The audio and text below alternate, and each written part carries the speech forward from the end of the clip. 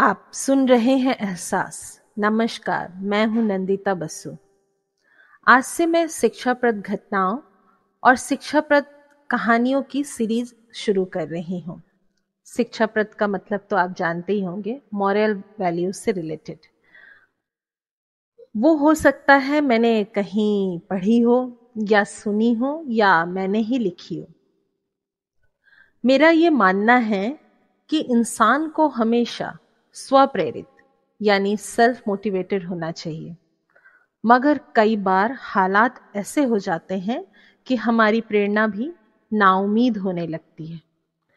उस वक्त हमेशा कुछ भी प्रेरणादायक या मोटिवेशनल सुनना चाहिए या देखना चाहिए। तो चलिए शुरुआत करते हैं। एक छोटी सी प्रेरणादायक घटना या कहानी मान लीजिए।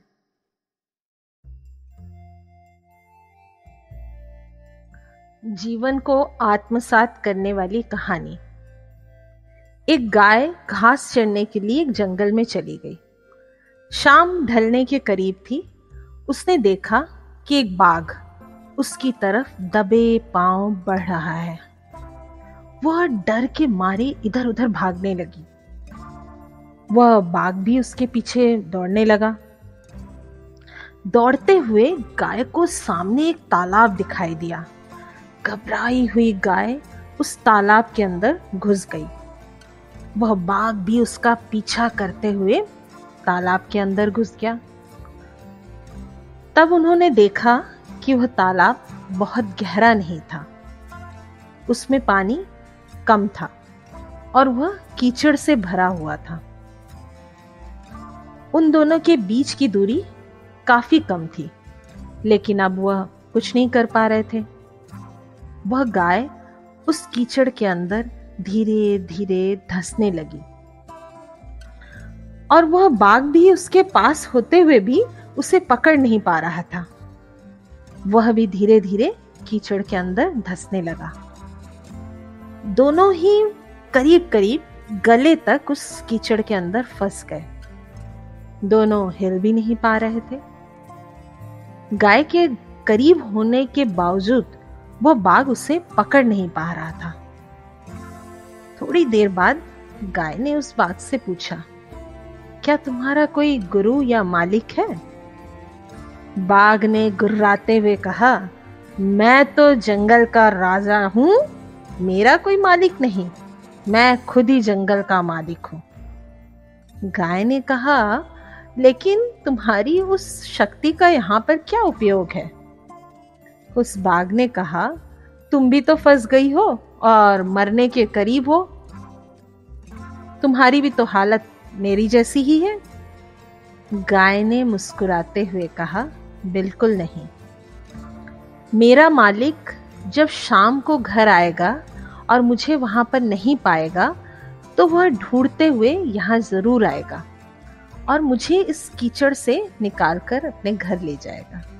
तुम्हें कौन ले जाएगा? थोड़ी ही देर में सच में ही एक आदमी वहाँ पर आया और गाय को कीचड़ से निकालकर अपने घर ले गया। जाते समय गाय और उसका मालिक दोनों एक दूसरे की तरफ़ कृतज्ञता पूर्वक देख रहे थे। वे चाहते हुए भी उस बाघ को कीचड़ से नहीं निकाल सकते थे, क्योंकि उनकी जान के लिए वह खतरा था। वो बाघ को ही छोड़कर अपने घर चले गए। यहाँ पर गाय समर्पित हृदय का प्रतीक है। बाघ हमारा अहंकारी मन है और मालिक ईश्वर का प्रतीक है और कीचड़ यह संसार है जिसमें हम सभी गले तक फंसे हुए हैं। और जो संघर्ष है, वो हमारे अस्तित्व की लड़ाई है। किसी पर निर्भर नहीं होना अच्छी बात है, लेकिन मैं ही सब कुछ हूँ, मुझे किसी के सहयोग की आवश्यकता नहीं है, यही अहंकार है, जिसे हम ईगो कहते हैं। और यहीं से विनाश का बीजारोपण हो जाता है। ईश्वर से बड़ा इस दुनिया में सच्चा हितैषी कोई नहीं होता है, क्योंकि वही अनेक रूपों में हमारी रक्षा करता है। सदैव प्रसन्न और आशावान रहिए, जो प्राप्त है, वो पर्याप्त है। धन्यवाद मुझे सुनते रहने के लिए।